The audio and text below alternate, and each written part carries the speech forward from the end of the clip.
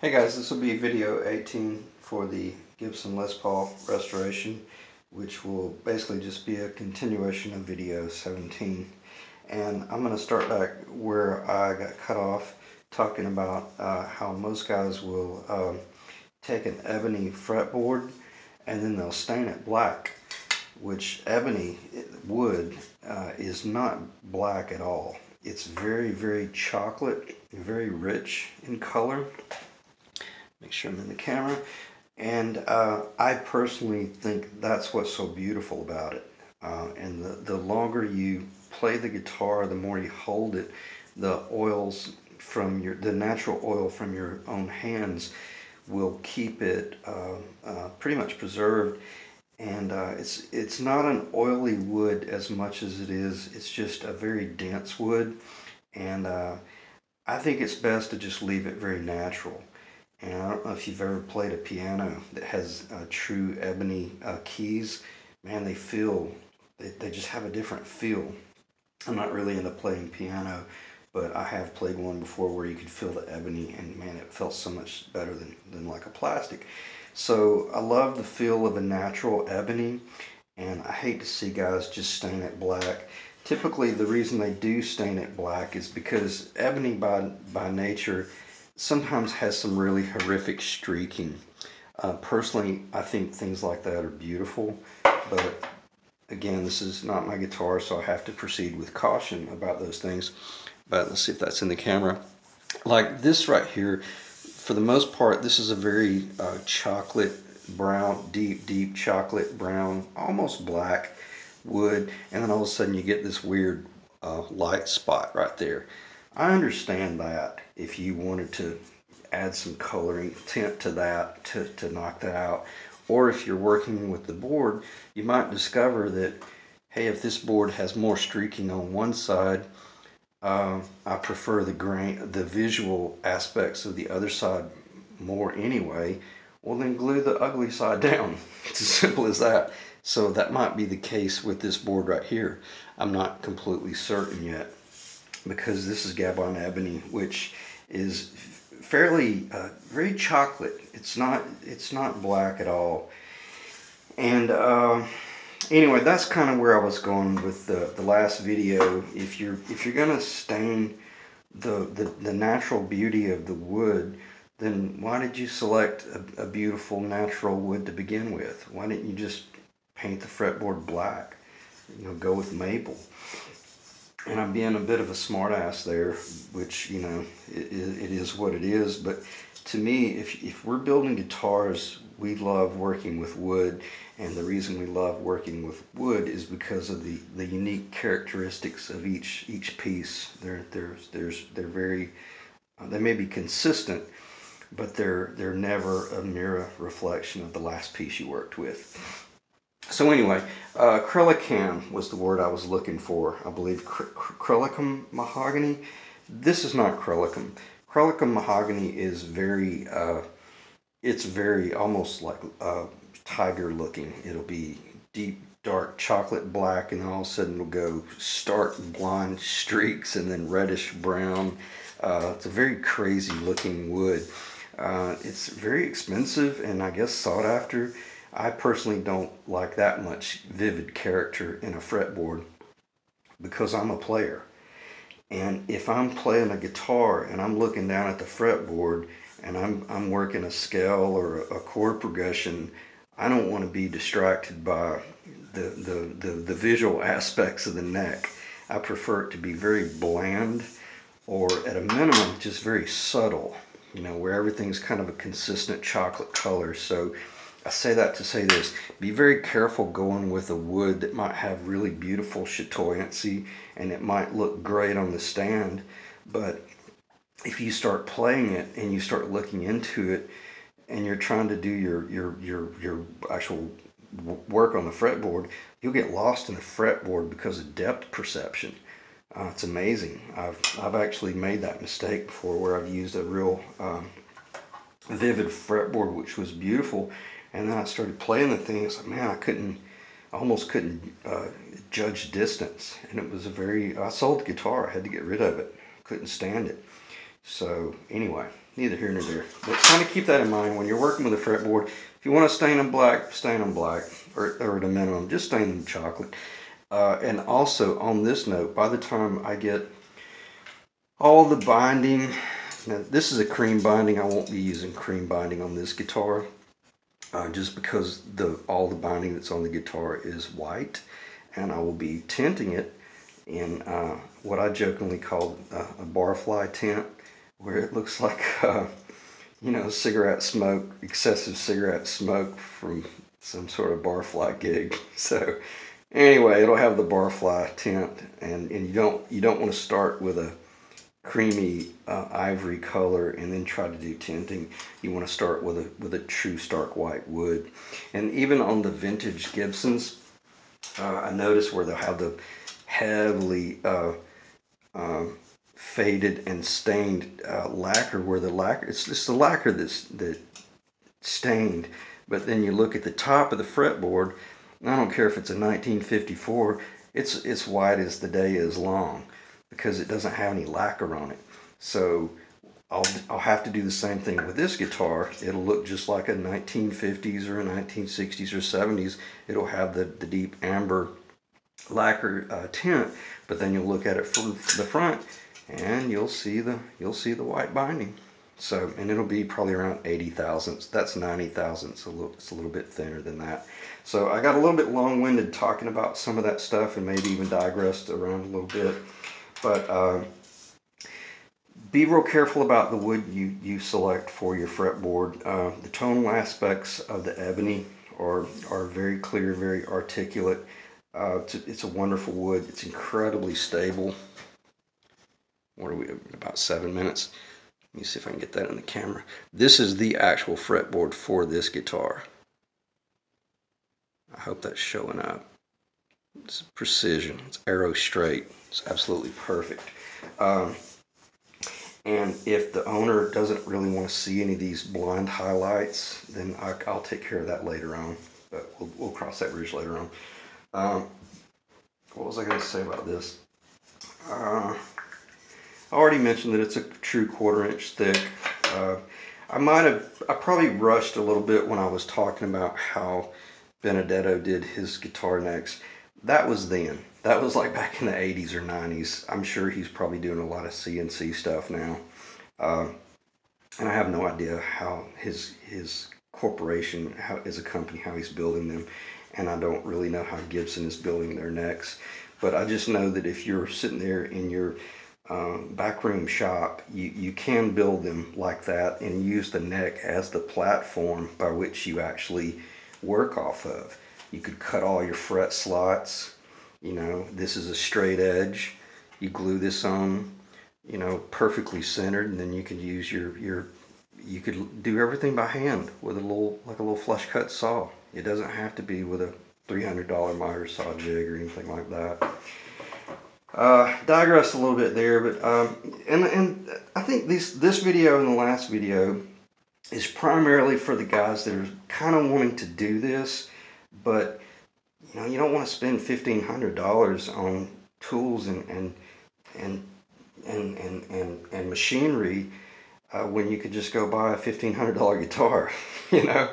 But you're you're really really feel the the desire to build the guitar, and you know that you can work the wood and you can work the sandpapers, the sanding blocks, and the chisels and the coping saws, and you don't even need a jigsaw. You could use a coping saw. Uh, for you know hundred dollars worth of tools you can build a phenomenal jazz guitar. And that's kind of what these last couple of videos have been about is trying to demystify the whole um, having to set up a, a $5,000 shop set of tools just to start building a couple of guitars. So every bit of this can be done by hand and and it's very very simple if you really just uh, take your time Okay, uh, other woods. I'll, i mentioned the, the rosewood briefly about just the, um, uh, the, the hazards. Just proceed with caution working with the rosewood because the doctor that I had to meet with, he mentioned something about once you get the dust in your bloodstream, you know, it's it's always there, and you're always subject to that uh, break out again. And that and it happened to me about three months ago. I started working with some rosewood, and sure enough, I, I felt my face uh, uh, breaking out from the disorder. So anyway, be careful working with rosewood. It's beautiful, it sounds good. And what this is, I, I kind of just ended up using this as a mock-up, glued two pieces together, put it back on. I use this as a sample, like if I've got a board, see if we're in the camera, if I've got a board here has a weird funky grain to it, maybe the grain's going off to the left a little bit, well then I can take this little board and I can lay it on here. Let me see if I can get this in the camera and I can lay it on there on a weird angle and I can kind of look at what I might be, how I might be able to rough out the the board in my hand like the ebony that I'm wanting to work with or work around a bad spot from discoloration. See I might be able to come up in here like this. Sorry if that wasn't on the camera. You know I might be able to work on that quadrant of the board and hardly even have any of that discoloration creep into the, the, uh, the fretboard. Woodworkers, you guys already know this stuff, so I'm not really telling you anything that you don't already know. Uh, this is uh, Bolivian rosewood. Uh, I think they call it, is it Pau Ferro? Um, beautiful wood. Uh, this is perfectly, perfectly quarter. Uh, I'm tempted to turn this into a neck just to see how, how well it plays. The beautiful wood, very, very stiff, very dynamic tone, uh, very complex, especially on like a mahogany neck. If you're looking for really complex tones, that might be an interesting uh, neck. The mahogany lower with a rosewood, even Indian, Indian rosewood is a beautiful neck, beautiful sounding neck. Okay. And what am I going to talk about a little bit more that I didn't get to cover in the last video? I went back into the whole Benedetto thing because I don't think I gave that any service. That was then, this is now. That was just the way he showed in his uh, vocational series how, how to build a neck.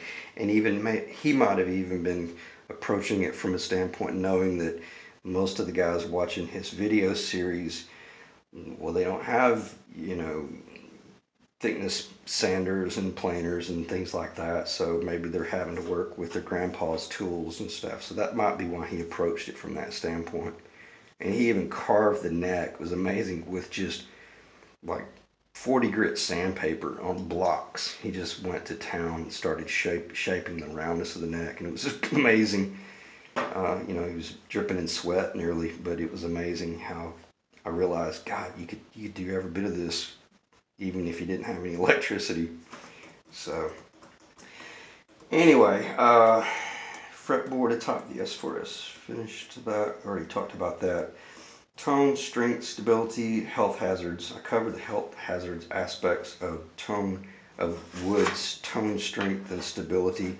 Um, from a standpoint of strength and stability, uh, maple or mahogany for a lower is pretty much proven and has been proven for hundreds of years, I guess you could say.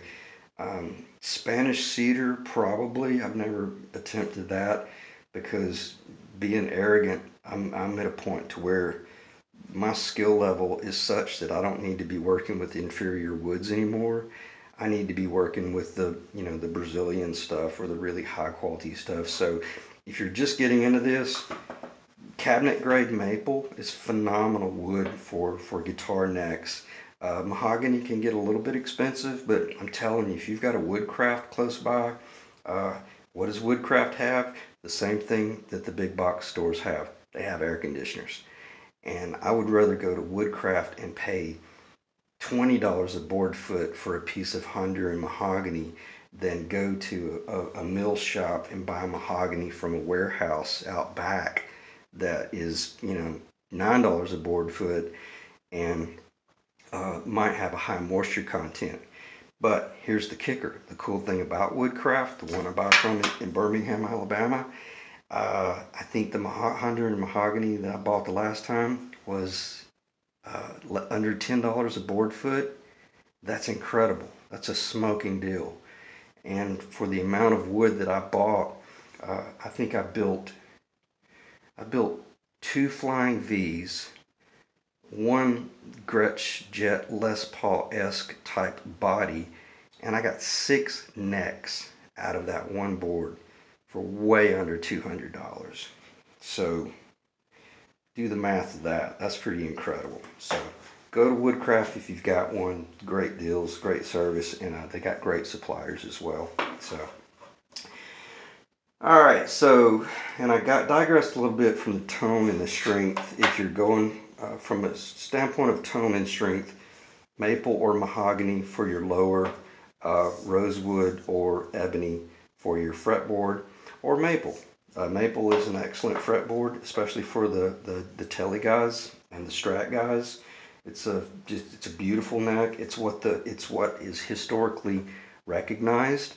When I think of a really high value, highly valuable or highly sought after strat, man, I think of you know like a maple, maple like a one piece maple neck, which is extremely hard to build, but you can get a maple cap on a maple neck back, very affordable to build, and they sound incredible and just great for jazz, funk, blues, country, everything. Very good wood to work with. Uh, and then obviously the mahogany. So I guess what I'm saying is you're probably, uh, it's almost idiot proof, you know, as long as you go with one of those woods, you'll be fine. Um, and again, if you've never worked with rosewood, maybe just work with Indian rosewood. And, uh, but just proceed with caution with your respirator type um, equipment that you have. Uh, thickness sanding with the oscillating sander versus the drill press station. Uh, some guys will set up a uh,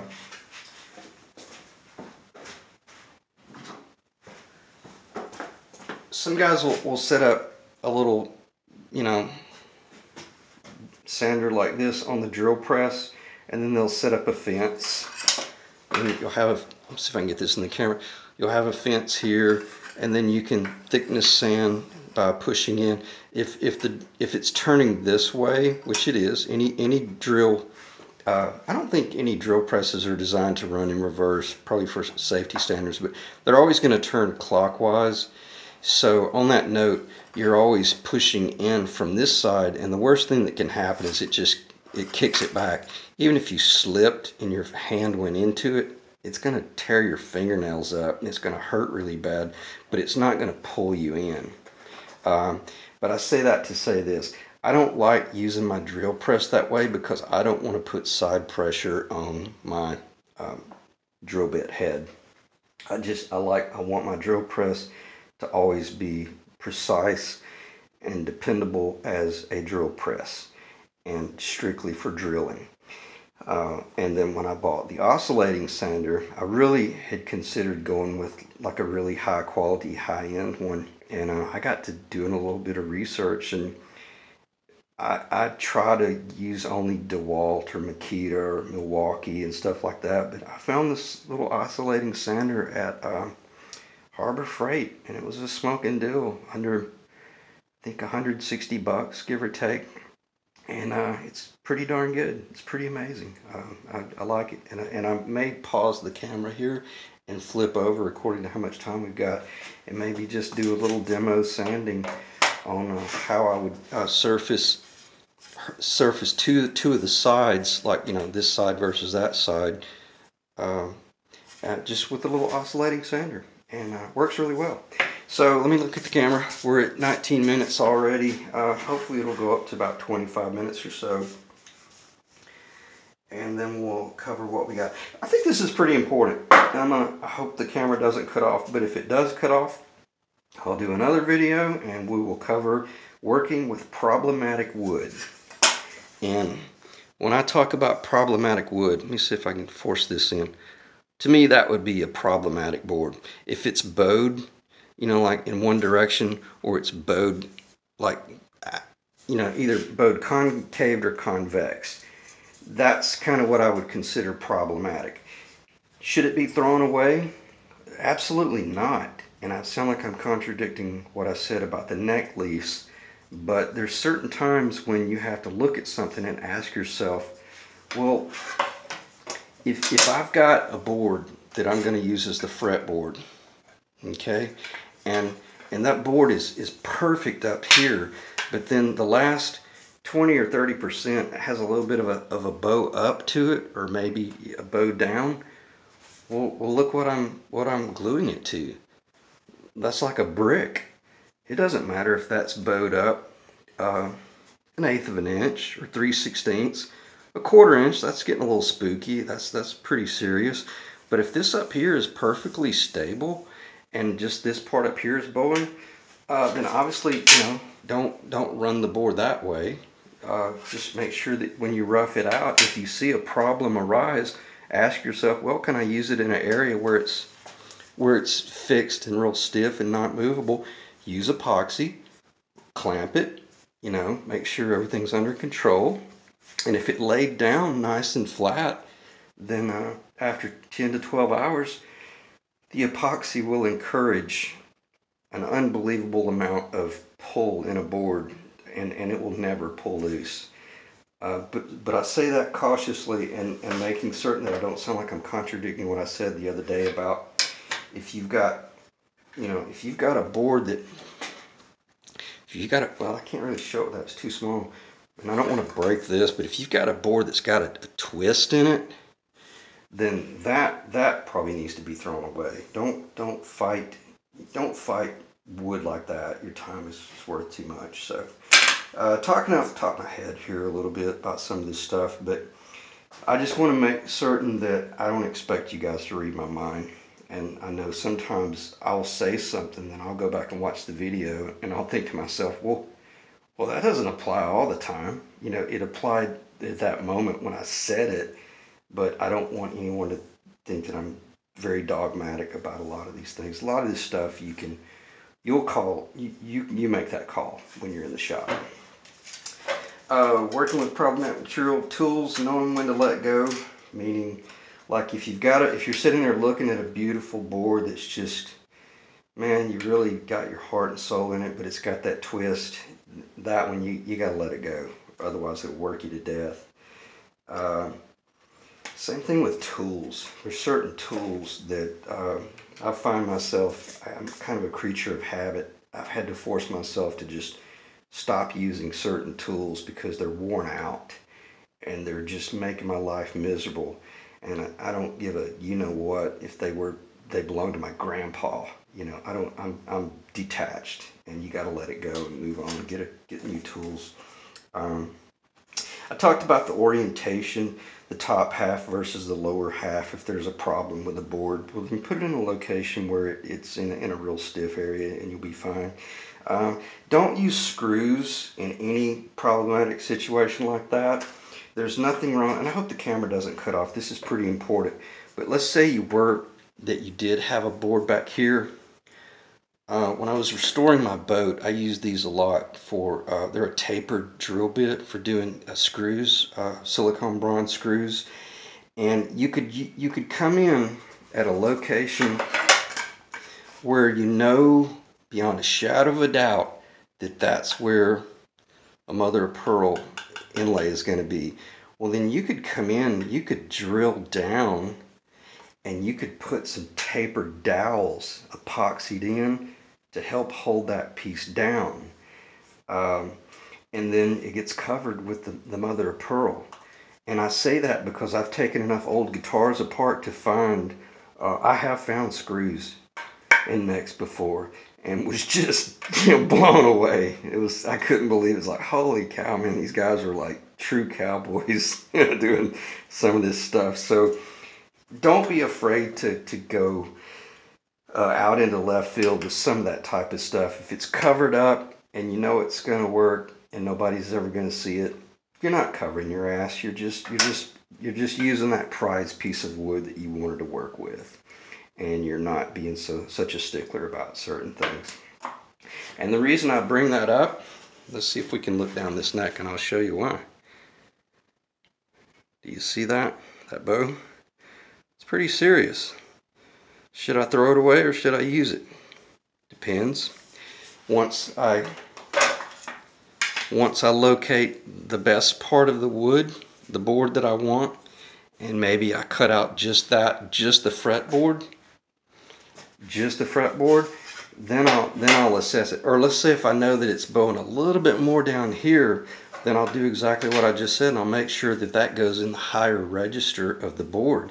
I mean, that would be idiocy for me to, to build it with the bow in the part, in the area where the neck is, is floating. So I guess what I'm saying, I haven't decided yet. Would I have used this on a client's guitar? Absolutely not. No, absolutely not. I, you know, this this is the, the fretboard for this client's guitar. But if I'm building a guitar for myself and one that I know that even I might sell one day, if I build this and it lasts for six months to a year with absolutely zero issues, man, I could sell it at any time and know beyond a shadow of a doubt it's fine. It's going to be okay. And that's another thing I like, and I'm glad I thought of this.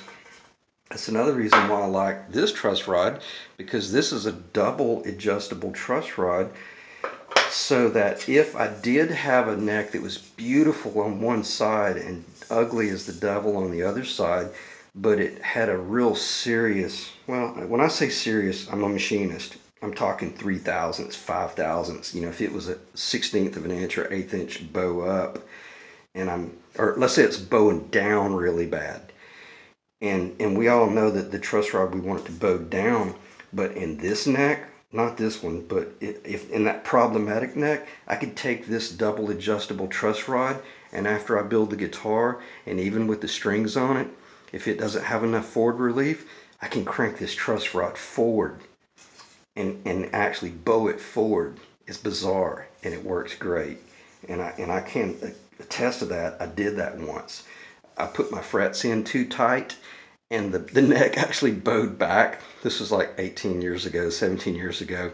And I was able to use the double adjustable truss rod to crank the neck forward and it, it leveled out perfectly. But if I hadn't have had the double adjustable truss rod, it would have been a failure.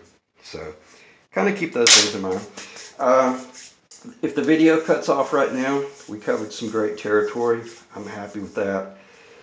No screws, tapered dowels uh, with epoxy only. I wouldn't recommend that with, with Titebond. Tight blind, I'd rather you do that with epoxy.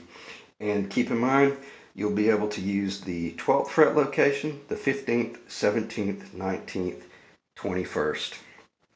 And then, uh, uh, I guess that I don't think there's a 23rd on a 24th fret. I think it jumps all the way up to the 24th, like the 12th, like the double octave. So keep that in mind according to what you're building. And let's see, I'm gonna I'm gonna pause the video there and then uh, maybe do a little bit of oscillating sanding. Hopefully it'll it'll come back on, but if not, I'll end the video right there. Let's see if I can get it to pause. Hey guys, I changed my mind on that, and the video is probably not going to last much longer than a minute or two, because I'm not going to have time to set up the oscillating sander. What I'm going to do is just take some Penetrol, and I'm just going to show you uh, why I don't see the need of staining the ebony black. Because once you put just oil, once you start oiling the fretboard, uh, they, they get very dark anyway. And if the video cuts off within the next five seconds or so, just know that this is why I don't like the idea of blacking out the, or, or staining the ebony. Look how dark that is. Now that's wet, but they're beautiful. And man, when you put the mother of pearl, uh, I'll just hit this real quickly. This is the old original. See how beautiful that is? There's no, there's no, there's no black stain on that. And then um, I just did this for sample purposes. I wouldn't leave this oil on here. I'm about to take some acetone and immediately clean it off. So if the camera cuts off, know that I didn't leave that oil on there. I just wanted to show that that there's no sense in going with a black stain or staining your fretboard or trying to do some sort of faux finish. Uh, we're working with very organic materials anyway. Uh, don't try to change them into something that they're not. So that was basically my primary point. And this being acetone, it'll be beautiful and dark for just a brief moment, and all of a sudden it'll get it'll get really bland again because it'll be dry wood with all the uh, natural oil. The Penetrol, I believe, is probably a mix of boiled linseed oil, which will dry, uh, raw linseed oil.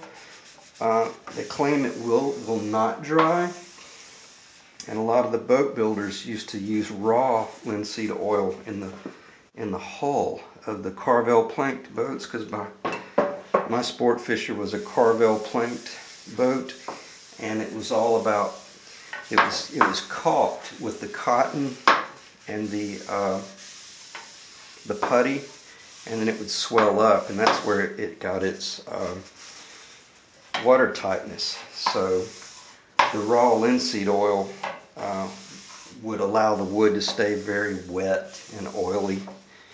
Um, but you, that's not what you want on a guitar fretboard. you don't want it sticky, you want it dry. Uh, I'm not saying put Penetrol on a guitar neck, and I hope I didn't listen. I'm just using doing that as a sample for you guys on camera here, and I can't believe it hasn't cut off. We're at 31 minutes right now. So they say mineral oil is better than lemon oil on a fretboard. Um, I've always just used uh, lemon oil. It's always worked really well. It's beautiful. It smells good. It reminds me of the the 80s when I had my old 62, no, mine was a 64 SG